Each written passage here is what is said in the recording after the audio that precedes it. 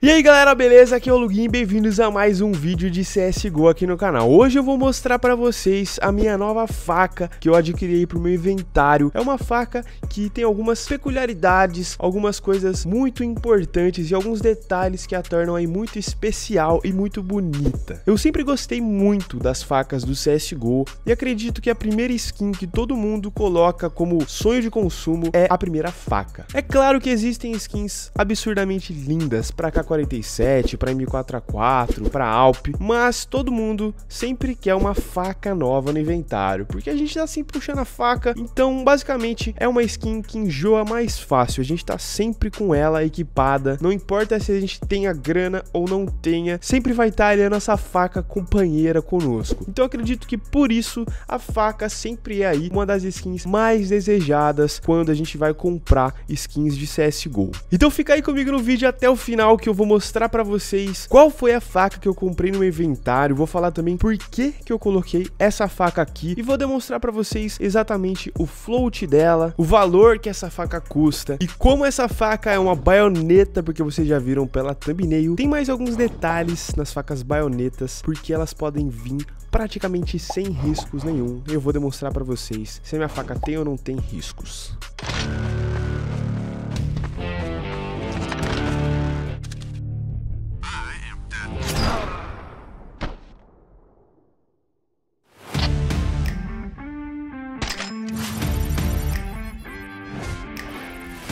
Aí galera, o link tá na descrição, dá até 15% de bônus na hora de depositar. Então usa ele aí pra depositar no Skin Club e é nóis, acabou.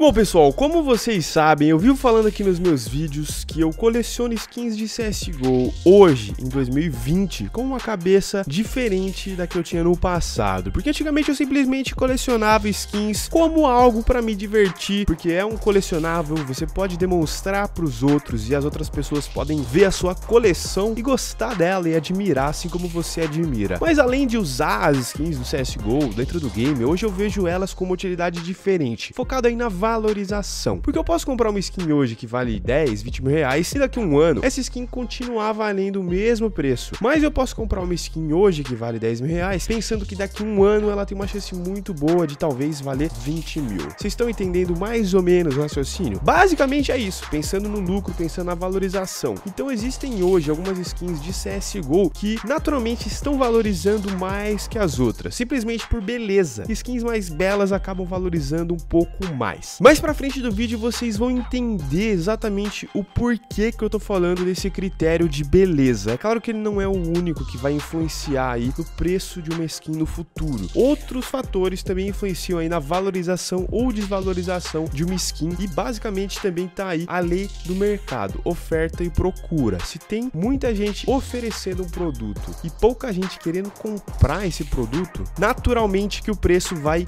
caindo. Mas se a história é o contrário, se tem muita gente procurando o produto e pouca gente querendo vender, o preço acaba subindo ao longo do tempo. Eu já falei em alguns vídeos meus, inclusive vale a pena assistir esses vídeos aí que tem dicas no meio deles aí sobre investimentos, que quando um pro player tá usando uma certa skin e ele começa a jogar muito, começa a destruir muito, essa skin pode subir de preço. O que que acontece recentemente aí no cenário do CSGO? A Astralis desce um pouquinho desse pedestal que ela tá lá há muito tempo e a Navi começa a subir alguns degraus na escada, porque o Simple tá jogando demais. Inclusive eu tava dando uma pesquisada e o adesivo do Simple de Katowice 2019 tá duplicando, quase triplicando de preço. Eu tenho inclusive um adesivo que parece esse do Simple, que é aí de Katowice 2019, mas não é do Simple, é do Fallen e tá colado no scope da minha Dragon Lore .01. E como vocês podem ver, é um adesivo muito bonito. Ou seja, simplesmente porque o Simple tem jogado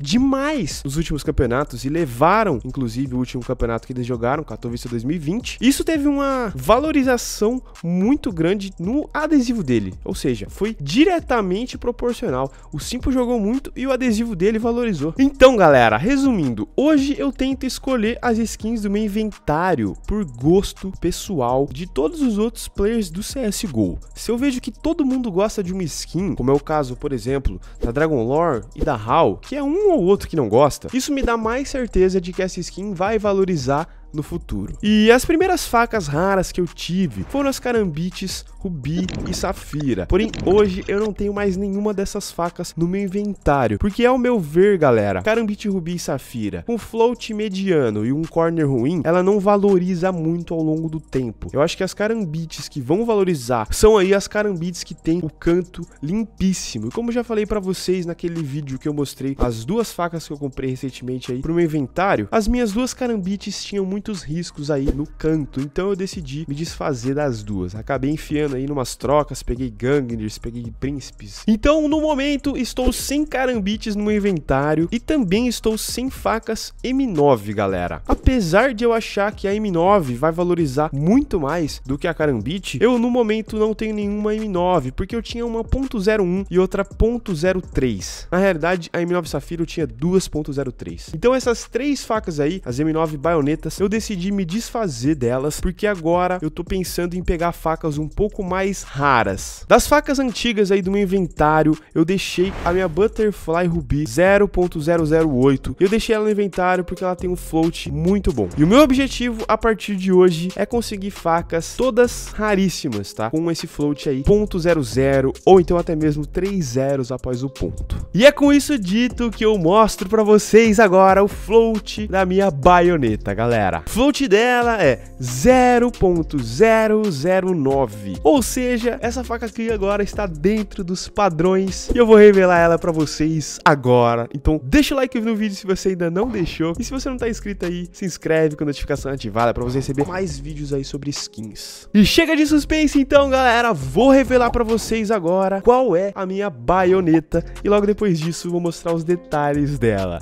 Em 3, 2, 1.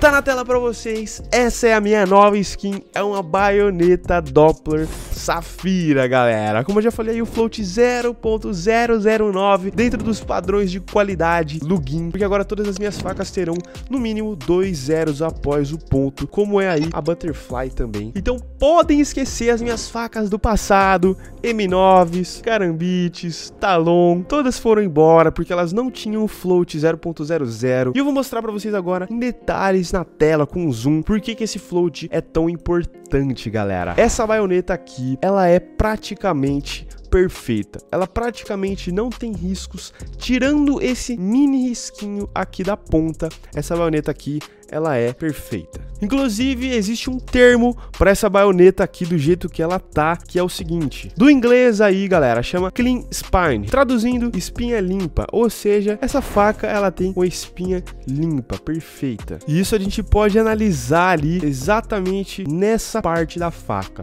É aqui que a gente consegue saber se ela tem aí a clean spine ou não. Então, assim como nas carambites existem as clean corners, nas baionetas também existem as clean spines, entendeu? E eu vou demonstrar para vocês na tela uma outra baioneta safira, essa não é minha, tá? Só para vocês entenderem o que seria uma baioneta aí que não tem a espinha limpa, uma baioneta que tem mais riscos. E eu acho que sinceramente fica um pouco mais feio. Sem contar também, galera, no quesito aí valorização.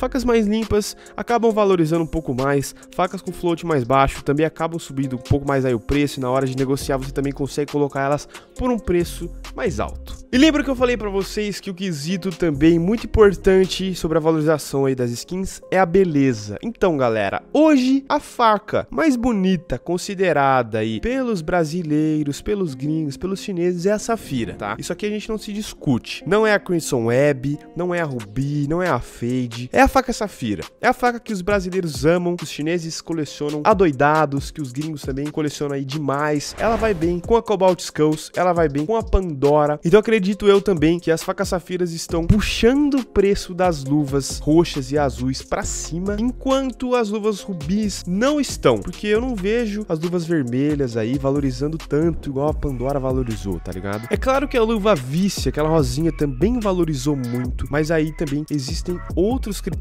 tipo o Simple tá usando ela há muito tempo, ela vai bem com facas Blue Jam, ela vai bem com a Gangner. Eu quero fazer um vídeo aí outro dia falando um pouco mais sobre luvas, quais luvas que vão valorizar no futuro, porque como vocês vocês devem ter percebido também, eu me desfiz de algumas luvas aí do meu inventário, também por causa desse quesito aí, valorização. Foi embora a Superconductor, foi embora a Pandora e também foi embora aí a Crimson Weave, galera. Mas tá chegando uma nova luva no inventário em breve. E galera, agora também preciso decidir qual vai ser minha próxima faca, né? Essa baioneta Safira, ela tá avaliada em mais ou menos 15 mil reais por causa do float e também por causa da espinha dela. E a próxima faca que eu quero pegar vai ser ou uma Safira ou uma Rubi, só não sei ainda qual faca. Então, deixa nos comentários qual você acha mais bonita, se é a baioneta, se é a butterfly, se é a carambite, se é a M9, se é a talon.